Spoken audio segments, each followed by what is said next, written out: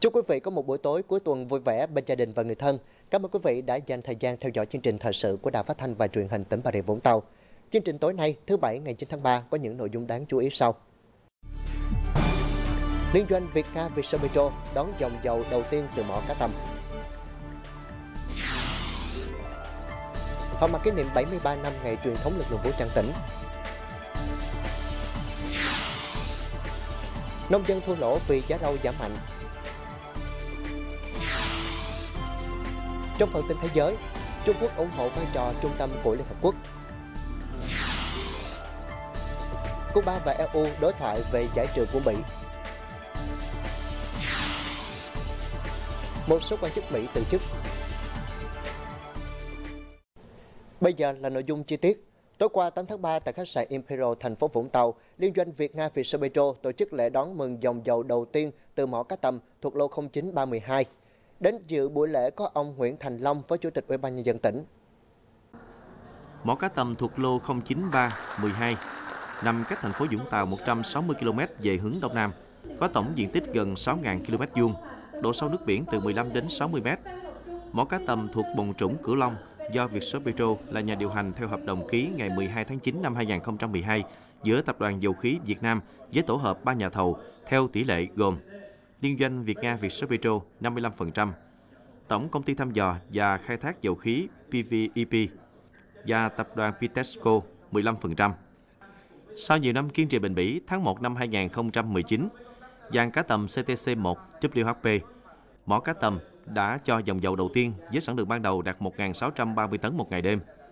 Theo tính toán, việc khai thác mỏ cá tầm sẽ đem lại hiệu quả kinh tế đến hết năm 2032, đóng góp đáng kể vào ngân sách nhà nước và lợi nhuận cho Vietso Petro, PVEP và Pitesco. Việc dự án mỏ cá tầm được chính thức đưa vào khai thác theo đúng kế hoạch phát triển mỏ được chính phủ phê duyệt là cơ sở để Vietso Petro tiếp tục đẩy mạnh hoạt động tìm kiếm thăm dò dầu khí ra các lô mới trong những năm tiếp theo. Kết quả này còn nhằm duy trì hoạt động cũng như bù đắp sản lượng dầu sụt giảm tại các mỏ trong 7 năm trở lại đây.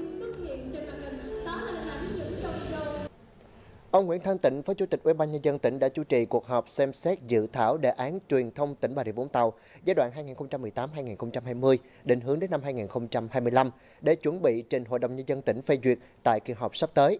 Đề án nhằm truyền thông quảng bá về tiềm năng truyền thống văn hóa con người Bà Rịa Vũng Tàu, những sản phẩm đặc trưng giúp doanh nghiệp, nhà đầu tư, khách du lịch trong và ngoài nước dễ dàng nhận biết về Bà Rịa Vũng Tàu trên các phương tiện thông tin, diễn đàn, các sự kiện trong và ngoài nước.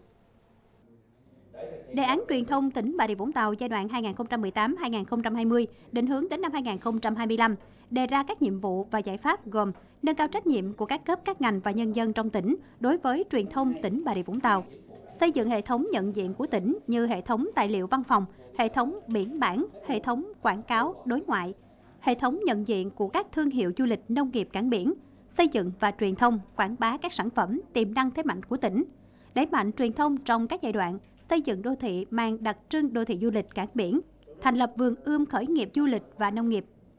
Phát biểu kết luận cuộc họp, ông Nguyễn Thanh Tịnh, Phó Chủ tịch Ủy ban nhân dân tỉnh đề nghị điều chỉnh giai đoạn thực hiện đề án từ 2019 đến 2021 gắn với kỷ niệm 30 năm thành lập tỉnh. Sở Thông tin và Truyền thông lấy ý kiến bằng văn bản của tất cả các sở ngành địa phương đối với dự thảo đề án, sau đó tiếp tục hoàn thiện đề án báo cáo thường trực Ủy ban nhân dân tỉnh xem xét thông qua. Ủy ban nhân dân tỉnh vừa có văn bản chỉ đạo về việc triển khai tổ chức thực hiện các hoạt động hưởng ứng chiến dịch giờ trái đất năm 2019 trên địa bàn tỉnh. Ủy ban nhân dân tỉnh giao các sở ngành địa phương, công ty điện lực Bà Rịa Vũng Tàu khẩn trương xây dựng kế hoạch triển khai dần rộng các tổ chức, cơ quan, doanh nghiệp và người dân tham gia hưởng ứng chiến dịch giờ trái đất năm 2019. Cụ thể, tắt đèn và các thiết bị điện không cần thiết vào thời gian diễn ra sự kiện giờ trái đất từ 20 giờ 30 phút đến 21 giờ 30 phút vào thứ Bảy ngày 30 tháng 3 năm 2019. Tuyên truyền các hoạt động tiết kiệm điện và bảo vệ môi trường, đảm bảo cung cấp điện ổn định cho sản xuất và sinh hoạt của người dân và doanh nghiệp. Năm 2018, hàng ngàn hộ gia đình, đơn vị doanh nghiệp trên địa bàn tỉnh đã tắt điện hưởng ứng chiến dịch giờ trái đất với số điện tiết kiệm khoảng 17.000 kWh.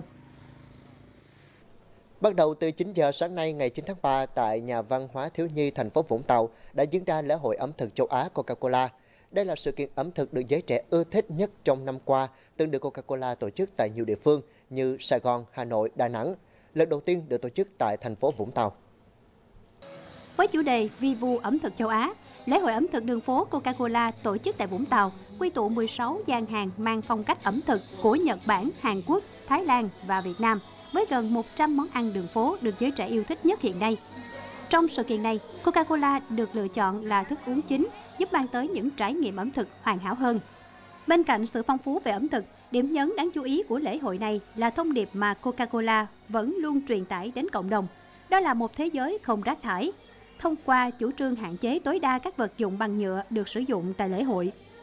Đây là một trong nhiều hoạt động của Coca-Cola nhằm thực hiện mục tiêu đến năm 2030 sẽ thu gom và tái chế tương đương 100% lượng chai và lon được bán ra thị trường.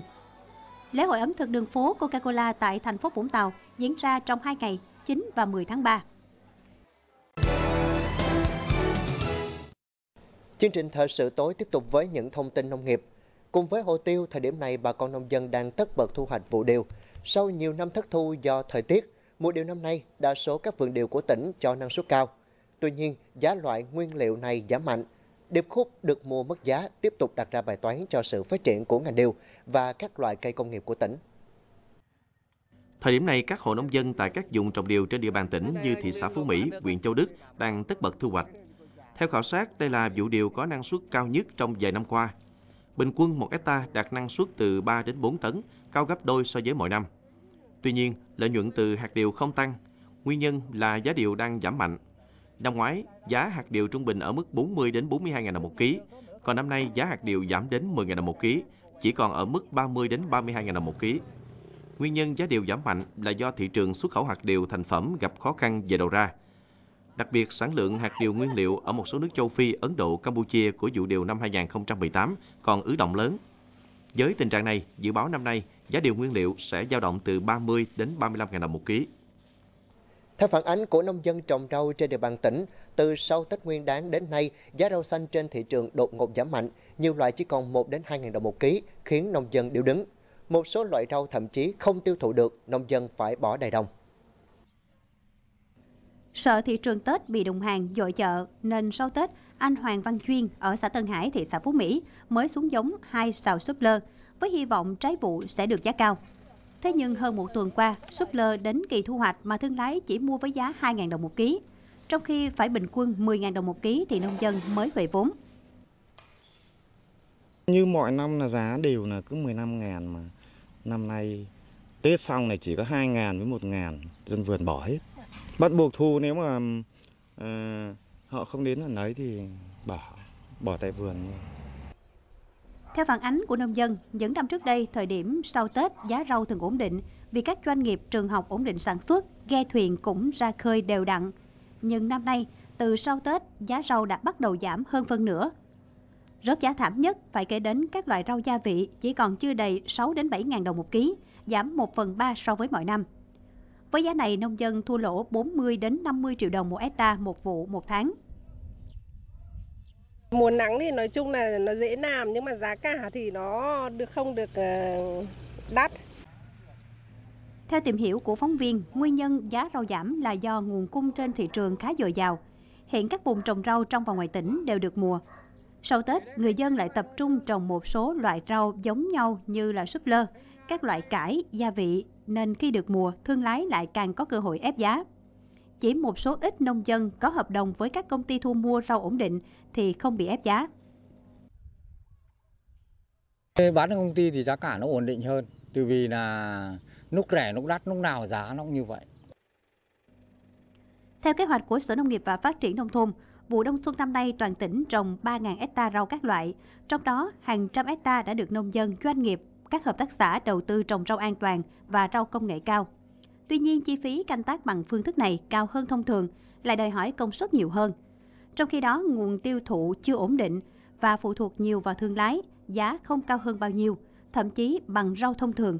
Do đó, nhiều hộ trồng rau sạch kiến nghị các cơ quan chức năng hỗ trợ người sản xuất, xây dựng các kênh quảng bá, các chuỗi liên kết trong tiêu thụ rau sạch để người nông dân yên tâm sản xuất. Có như vậy mới tránh được tình trạng giá cả bấp bênh như hiện nay. Với mục đích triển khai thu phí không dừng là nhằm tạo sự công khai minh bạch, giảm ủng tắc giao thông tại các trạm thu phí BOT. Bộ Giao thông Vận tải đã triển khai lắp đặt theo đúng yêu cầu của chính phủ. Mục tiêu mà Bộ Giao thông Vận tải đưa ra là đến cuối năm nay sẽ thực hiện đồng bộ thu phí tự động không dừng trên phạm vi cả nước. Vậy mục tiêu này liệu có khả thi hay không nếu như thiếu sự quyết tâm và cuộc mạnh mẽ của các bên liên quan?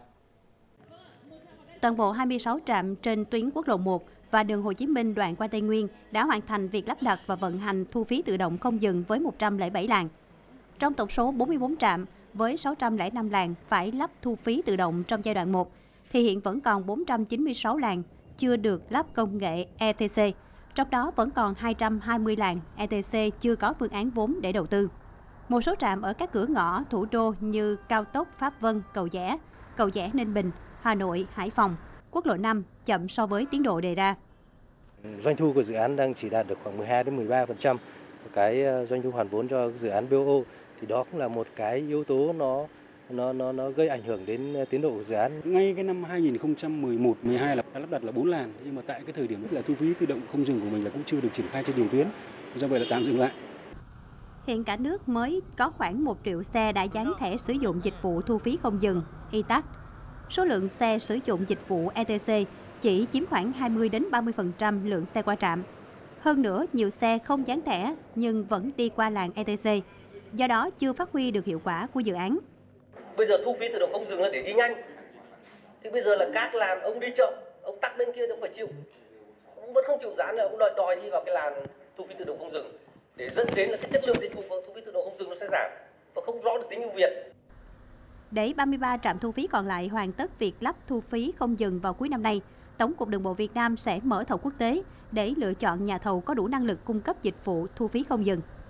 Nhà tham gia VO2 lần này thì đều là các cái nhà mà làm công nghệ hàng đầu ở Việt Nam và làm cả quốc tế. Ví dụ như Viettel VNP thì đều là làm à, điện thoại làm trong nước, công nghệ trong nước và làm cả nước ngoài. Cho nên tôi tin rằng rằng BO2 ra đời thì cái tiến độ của người ta sẽ vượt vượt mức cái kế hoạch theo cái cái, cái của 07. Bộ Giao thông Vận tải đã làm việc với một số ngân hàng để kết nối liên thông tài khoản của lái xe với thẻ tín dụng, tạo điều kiện thuận lợi cho người dân sử dụng dịch vụ này. Dù còn nhiều khó khăn, nhưng Bộ Giao thông Vận tải khẳng định việc triển khai thu phí không dừng ở cả hai giai đoạn đảm bảo tiến độ theo đúng yêu cầu của chính phủ. Tới 31 tháng 12 năm 2019 mà tuyến cao tốc nào, chỗ nào mà chưa tổ chức thu phí tự động không dừng thì chúng ta sẽ dừng không cho thu phí và Bộ khẳng định là sẽ không có nương tay. Đối với xe biển xanh, Bộ cũng đặt ra mục tiêu chậm nhất là 30 tháng 6 tới phải hoàn thành việc thẻ thu phí tự động không dừng y tắc. Bộ Giao thông Vận tải cũng lưu ý hiện vẫn còn 8 địa phương quản lý 8 trạm thu phí chưa triển khai thu phí không dừng. Bộ Giao thông Vận tải sẽ có công văn gửi các địa phương này để thúc tiến độ thực hiện đồng bộ trên cả nước. Nếu địa phương nào chậm trễ, phải chịu trách nhiệm trước Thủ tướng Chính phủ.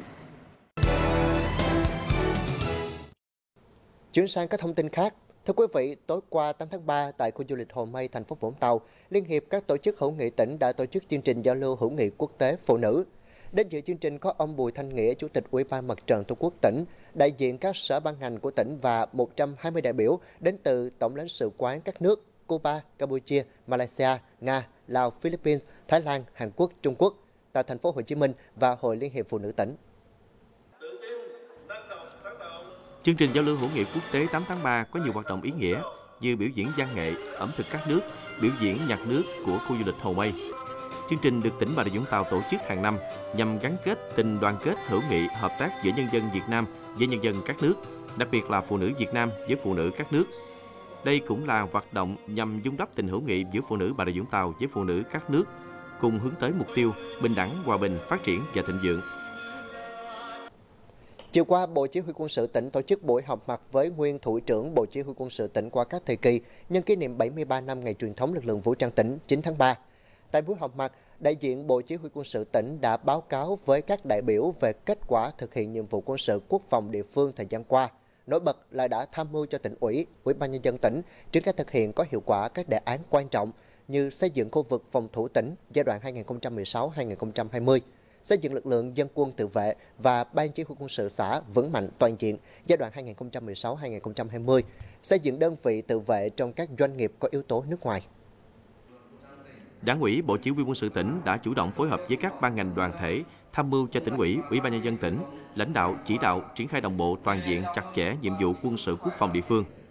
Đến nay đã xây dựng được chi ủy của 82 trên 82 chi bộ quân sự xã phường thị trấn. Lực lượng dân quân tự vệ dự bị động viên được xây dựng đủ số lượng, đảm bảo chất lượng, có độ tin cậy cao. Trong đó, lực lượng dân quân tự vệ đạt 1,4% so với dân số, tỷ lệ đảng viên đạt 26%. Công tác tuyển quân hàng năm đều đạt chỉ tiêu. Phát biểu tại buổi họp mặt kỷ niệm 73 năm ngày truyền thống lực lượng vũ trang tỉnh 9 tháng 3, Đại tá Thái Văn Điền, Chính ủy Bộ Chỉ huy quân sự tỉnh, bày tỏ mong muốn các đồng chí nguyên thủ trưởng Bộ Chỉ huy quân sự tỉnh qua các thời kỳ tiếp tục quan tâm theo dõi, đóng góp ý kiến nhằm giúp lực lượng vũ trang tỉnh thực hiện tốt nhiệm vụ quân sự quốc phòng địa phương. Ban tuyển sinh quân sự tỉnh tổ chức hội nghị triển khai công tác tuyển sinh quân sự năm 2019. Năm nay, các học viện, nhà trường trong quân đội tiếp tục thực hiện tuyển sinh theo phương án sử dụng kết quả kỳ thi Trung học phổ thông quốc gia để xét tuyển sinh đại học cao đẳng quân sự.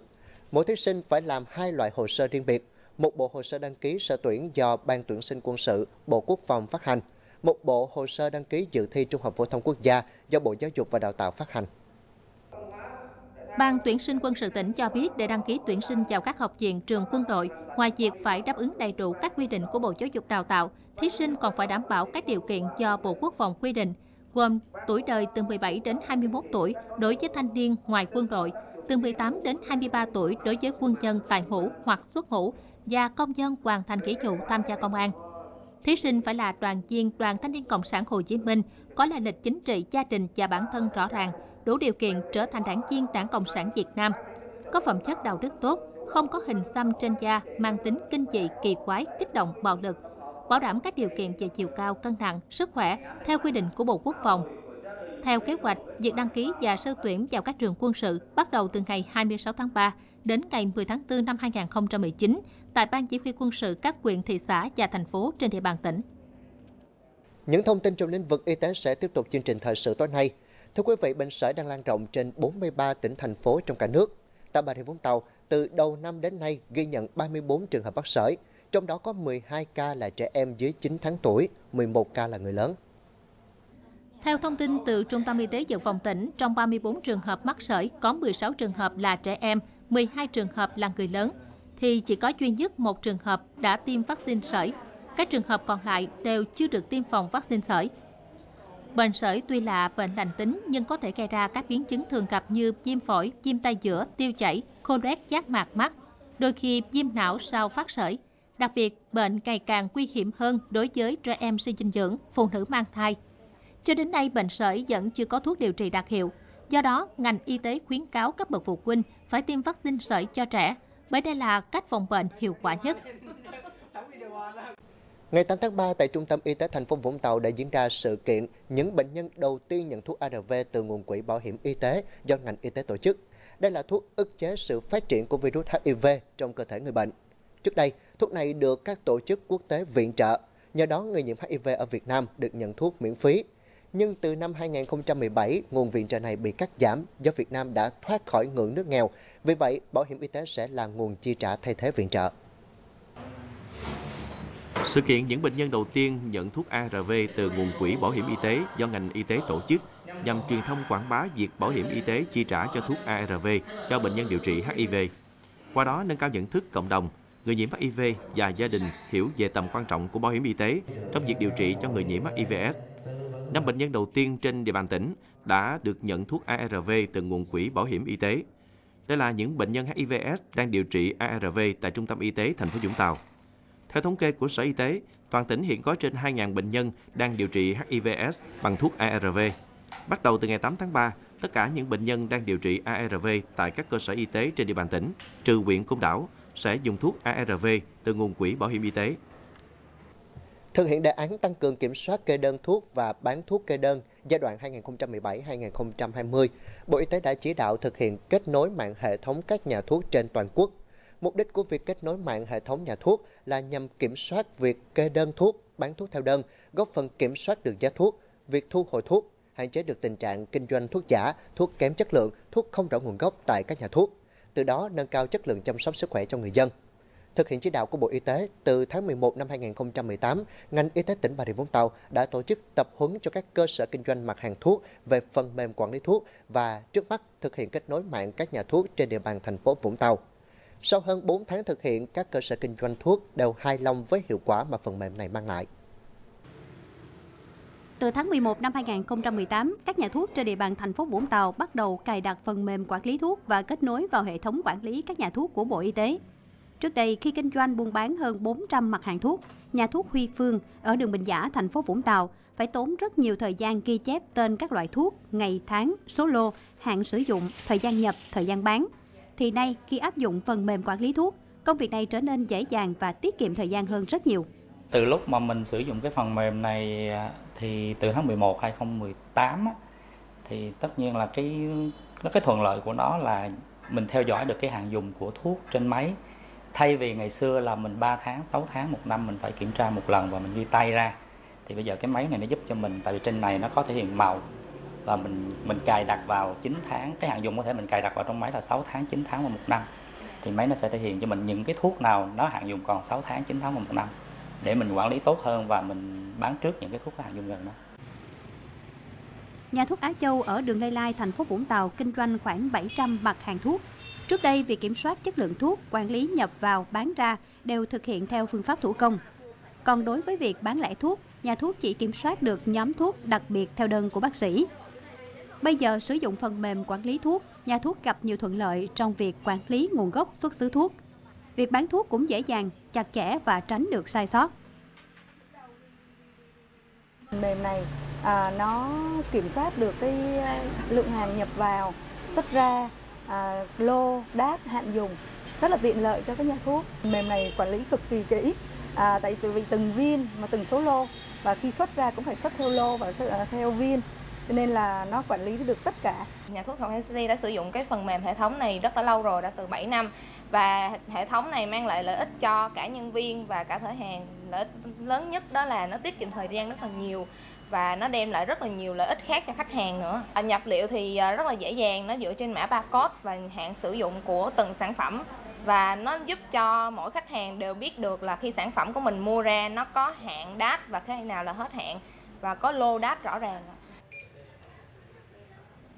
Trên địa bàn thành phố Vũng Tàu có hơn 300 cơ sở kinh doanh mặt hàng thuốc. Hiện đã có 172 cơ sở kinh doanh thuốc lắp đặt phần mềm quản lý thuốc kết nối với hệ thống quản lý các nhà thuốc của Bộ Y tế. Việc ứng dụng công nghệ thông tin để kết nối các nhà thuốc cũng giúp người dân phòng tránh việc mua và sử dụng các mặt hàng thuốc kém chất lượng, thuốc giả.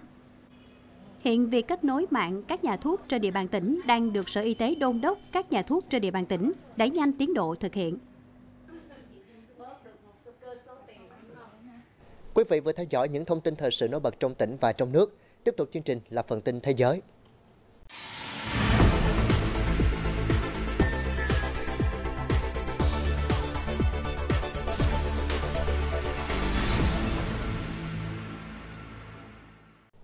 Thưa quý vị, Ngoại trưởng Trung Quốc ông Vương Nghị vừa cho biết, nước này coi chủ nghĩa đa phương là nền móng cho hệ thống quốc tế và sẽ kiên quyết ủng hộ vai trò trung tâm của Liên Hợp Quốc trong hệ thống này. Phát biểu bên lề hội nghị chính trị Hiệp thương Nhân dân Trung Quốc lần thứ hai khóa 13, Ngoại trưởng Vương Nghị nêu rõ, Bắc Kinh ủng hộ việc xây dựng một cộng đồng vì tương lai chung cho toàn nhân loại, cũng như lợi ích chung của đa số các nước. Người đứng đầu ngành ngoại giao Trung Quốc cũng khẳng định Bắc Kinh sẵn sàng hợp tác với tất cả các nước trên nguyên tắc đa phương để duy trì hệ thống quốc tế với Liên Hợp Quốc làm trung tâm và một trật tự quốc tế trên nền tảng luật pháp quốc tế. Bộ Ngoại giao Cuba thông báo đã tiến hành đối thoại với Liên minh châu Âu EU về các vấn đề cùng quan tâm trong lĩnh vực giải trừ quân bị trong khuôn khổ thỏa thuận đối thoại chính trị và hợp tác Cuba-EU. Giới chức Cuba và Liên minh châu Âu đã thảo luận về hai việc giải trừ quân bị và không phổ biến vũ khí hủy diệt hàng loạt, cũng như những biện pháp nhằm ngăn chặn việc buôn lậu vũ khí nhỏ, nhẹ và các loại vũ khí thông thường khác. Hai bên khẳng định có nhiều điểm tương đồng trong quan điểm và khẳng định ủng hộ nỗ lực của Liên Hợp Quốc trong vấn đề này. Bên cạnh đó, giới chức Cuba và EU cũng thảo luận về tác động của chính sách bao vây cấm vận của Mỹ nhằm vào quốc gia Caribe này. Hai bên đồng thời khẳng định quyết tâm phân tích mọi vấn đề trên cơ sở tôn trọng, thượng tôn luật pháp và không can thiệp vào công việc nội bộ của nhau. Liên quan đến vấn đề Brexit, Thủ tướng Anh bà Theresa May vừa lên tiếng hối thúc Liên minh châu Âu nỗ lực hơn nữa để giải quyết những vấn đề còn tồn động, vốn đang ngăn Quốc hội Anh thông qua thỏa thuận. Thủ tướng Anh bà Theresa May kêu gọi giới chức Anh và EU thực hiện các biện pháp cần thiết nhằm thuyết phục Quốc hội Anh ủng hộ thỏa thuận Brexit trong cuộc bỏ phiếu vào ngày 12 tháng 3 tới. Nhà lãnh đạo Anh cũng cảnh báo việc trì hoãn Brexit sẽ dẫn đến một tiến trình Anh rời khỏi EU không như mong đợi. Do đó, hai bên cần phải hành động ngay lập tức để đạt được thỏa thuận. Nhà Trắng vừa thông báo, giám đốc truyền thông của Tổng thống Mỹ ông Donald Trump, ông Bill Shai đã từ chức. Thư ký báo chí Nhà Trắng Sarah Sanders cho biết, trợ lý Tổng thống đồng thời là giám đốc truyền thông Bill Shai đã đệ đơn từ chức với Tổng thống vào tối ngày 7 tháng 3 và Tổng thống đã chấp thuận. Ông Bill sẽ tiếp tục ủng hộ Tổng thống Trung cùng chương trình nghị sự của ông, đồng thời sẽ là cố vấn cấp cao trong chiến dịch tái tranh cử năm 2020 của Tổng thống Trung. Các quan chức Mỹ cho biết Bộ trưởng Không quân Mỹ Heather Wilson, người được cho là ứng cử viên hàng đầu để trở thành Bộ trưởng Bộ Quốc phòng kế tiếp, đã quyết định từ chức sau gần 2 năm để trở lại làm giám đốc Đại học Texas ở El Paso, khiến cho vị trí cao nhất của Lầu Năm Góc tiếp tục bị khuyết. Giới chức Venezuela vừa thông báo đã khôi phục mạng lưới điện tại 10 quận ở thủ đô Caracas. Trước đó, Caracas đã phải ban bố quyết định yêu cầu đóng cửa các trường học và văn phòng chính phủ do tình trạng mất điện trên diện rộng. Sân bay quốc tế Simon Bolivar ở thủ đô Caracas, Venezuela cho biết không bị ảnh hưởng bởi mất điện, đồng thời khẳng định các đơn vị của sân bay đang thực hiện kế hoạch dự phòng nhằm đảm bảo các hoạt động ở khu vực đến và đi của ga quốc tế và trong nước. Mất điện đang trở thành tình trạng thường xuyên tại Venezuela bên cạnh những khó khăn kinh tế khác như khan hiếm lương thực và thuốc men trầm trọng. Tổng thống Nicolas Maduro cáo buộc các kẻ thù chính trị của Venezuela gây ra tình trạng này, trong khi giới chỉ trích cho rằng khó khăn hiện nay của quốc gia Nam Mỹ xuất phát từ đầu tư kém hiệu quả và tham nhũng tràn lan. Chuyển sang những thông tin liên quan các hoạt động kỷ niệm nhân ngày Quốc tế Phụ nữ 8 tháng 3. Thưa quý vị, hưởng ứng phong trào đòi quyền bình đẳng giới của hàng triệu phụ nữ trên toàn cầu nhân ngày Quốc tế Phụ nữ 8 tháng 3, phụ nữ trên khắp thế giới từ châu Mỹ cho tới châu Phi và châu Âu đã xuống đường tuần hành, nhấn mạnh tới những đóng góp của phái yếu trong quá trình hội nhập và phát triển. Tại khu vực Mỹ Latin, hàng ngàn phụ nữ Argentina đã xuống đường tuần hành phản đối nạn bạo hành gia đình, bạo lực với phái yếu, dương cao biểu ngữ kêu gọi đảm bảo sự an toàn cho phụ nữ.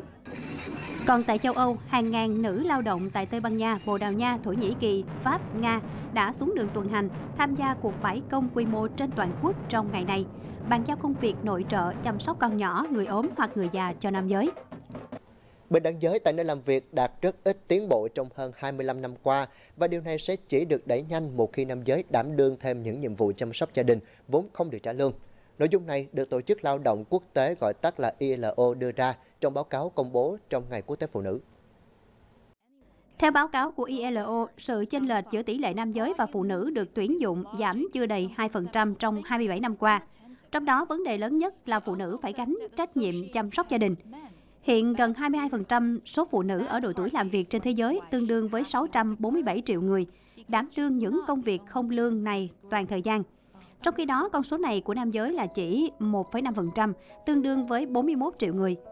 Báo cáo cũng cho thấy phụ nữ dành hơn 3 phần tư thời gian cho công việc chăm sóc không công và cống hiến trung bình 4 giờ 25 phút mỗi ngày cho nhiệm vụ này. Trong khi thời lượng này ở nam giới chỉ là 1 giờ 23 phút.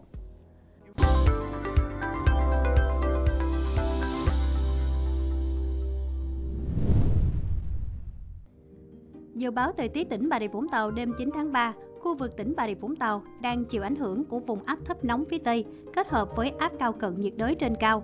Đây đều là hai hình thái thời tiết gây nóng, do vậy toàn tỉnh tiếp tục nắng mạnh và kéo dài. Khu vực phía Bắc của tỉnh có nắng nóng với mức nhiệt cao nhất từ 34 đến 36 độ. Các khu vực khác mức nhiệt thấp hơn dao động từ 31 đến 33 độ, nhưng thời tiết khá oi bức. Về đêm và sáng sớm, thời tiết không còn xe lạnh do bộ phận không khí lạnh đang suy yếu. Nguy cơ cháy rừng đang ở cấp cực kỳ nguy hiểm nên người dân và các địa phương cần cảnh giác đề phòng. Khu vực thành phố Vũng Tàu, trời ít mây, đêm không mưa, ngày nắng, gió đông đến đông nam cấp 2, cấp 3, nhiệt độ thấp nhất từ 25 đến 27 độ, nhiệt độ cao nhất từ 31 đến 33 độ, độ ẩm từ 60 đến 80%. Khu vực huyện Côn Đảo trời ít mây, đêm không mưa, ngày nắng, gió đông đến đông nam cấp 2 cấp 3. Nhiệt độ thấp nhất từ 24 đến 26 độ, nhiệt độ cao nhất từ 31 đến 33 độ, độ ẩm từ 60 đến 85%. Thời tiết vùng biển Vũng Tàu Côn Đảo Thời tiết tốt, mây thay đổi, không mưa, tầm nhìn xa trên 10 km. Trên biển, gió đông đến đông nam cấp 3, cấp 4. Tại Vũng Tàu, ngày 10 tháng 3 năm 2019, mực nước cao nhất 370cm xuất hiện lúc 16 giờ, thấp nhất 80cm xuất hiện lúc 9 giờ 45 phút. Thông tin dự báo thời tiết đã khép lại chương trình thời sự tối của Đài Phát thanh và Truyền hình tỉnh Bà Rịa Vũng Tàu. Ngay tiếp sau đây là chương trình thời sự của Đài Truyền hình Việt Nam. Mời quý vị theo dõi.